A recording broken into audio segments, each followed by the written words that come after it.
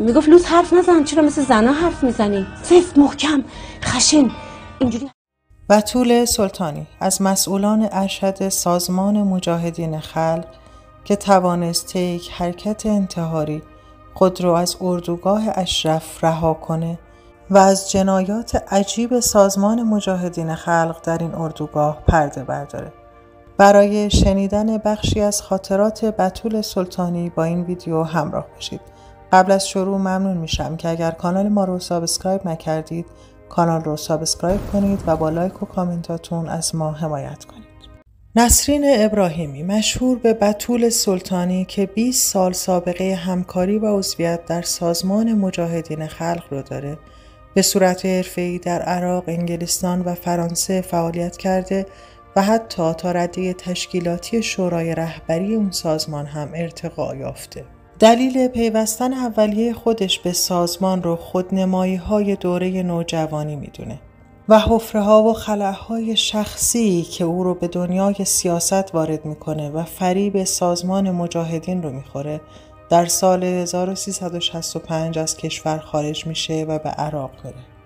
در حالی که زمان زیادی از ازدواج بطور نگذشته و کودک خردسالش رو در آغوش داره تحت تاثیر تبلیغات سازمان مجاهدین با همسرش به اردوگاه اشرف در عراق میرن. به دنبال خوشبختی در آن سوی مرزها.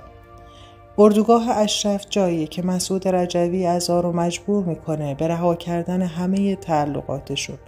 طلاقهای اجباری و جدا کردن کودکان. بطول به دستور مریم باید کودک خردسالش را از خودش دور کنه. گریه فرزند در لحظه جدایی تا ابد تبدیل به کابوسی برای او میشه. در قرارگاه اشرف همه کودکان را از مادران جدا می کردند و اونها رو به خارج می فرستادند. هیچ مادری حق نداشت حتی جای کودکش رو بدونه. دلتنگی ممنوع بود و ابراز احساسات شدیداً توبیخ می شد. می گفتند عواطف نامشروعه. شناسنامه و پاسپورت دست سازمان بود و برای ادامه مبارزه همه بایستی آزاد باشند. زنها و شوهرها از هم طلاق می گرفتند. اما داستان به اینجا ختم نمی شد. اوج این پلیدی در خواسته ای بود که مریم رجوی از زنها داشت.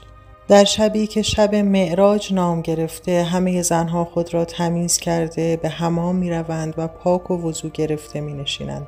در سالنی با ملافه های سفید با دو مبل و یک میز و کیک و قرآن و آینه و گردن بندهای طلا تک تک زنها سیغه مسعود رجوی می شوند و با درآوردن لباسهایشان می رخصند. این 20 سال زندگی پوچ در اردوگاه اشرف بود و زنانی که یا مسخ شدند یا در صورت اعتراض با شکنجه انفرادی زندان و حتی کشته شدن مواجه می شوند. گریز از این جهنمی که زنهای هستی باخته ناامید در آن اسیر بودند آرزویی دست نیافتنی می شود. بطول اما برای فرار مصمم است.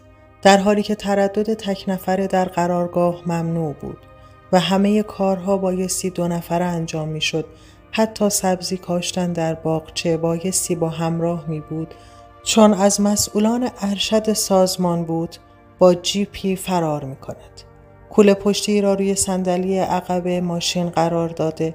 بر رویش یک کلاه خود و یک روسری میبندد تا اینطور جلوه دهد که یک همراه دارد.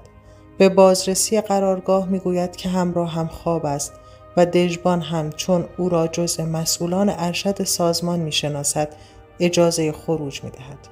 بطول راهی از میان سیمهای خاردار باز می کند و به شکل سین خیز عبور کرده خود را به مقر آمریکایی ها می رساند. اکنون بطول سلطانی شهروند آلمان است با فرزندش در تماس است و تنها آرزویش رهایی همسرش از اسارتگاه رجبی است.